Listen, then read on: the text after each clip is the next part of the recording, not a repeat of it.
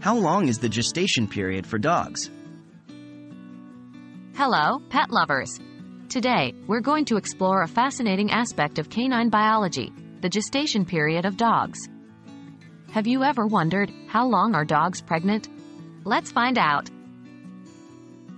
What is the gestation period? To begin, let's define what we mean by gestation period.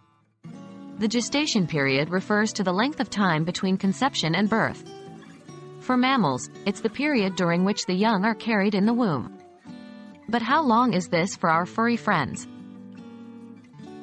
Dog pregnancy duration. Dog pregnancies are much shorter than human pregnancies. The average length of a dog's pregnancy, also known as the gestation period, is around 63 days, or about 2 months. This period can vary slightly depending on the breed and individual dog's health, with a typical range being between 58 to 68 days. Factors influencing gestation length.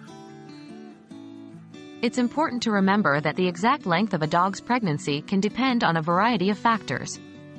This includes the breed of dog, the size of the dog, and the number of puppies she is carrying. Smaller breeds and dogs carrying fewer puppies may have shorter gestation periods, whereas larger breeds and dogs with larger litters may have slightly longer pregnancies. Signs of dog pregnancy. How can you tell if your dog is pregnant? Signs of dog pregnancy include increased appetite, weight gain, changes in behavior, and, later in the pregnancy, enlarged nipples and abdomen. But remember, a vet should always be consulted if you suspect your dog is pregnant. There you have it. The average dog pregnancy lasts approximately 63 days, but there is some variation depending on several factors.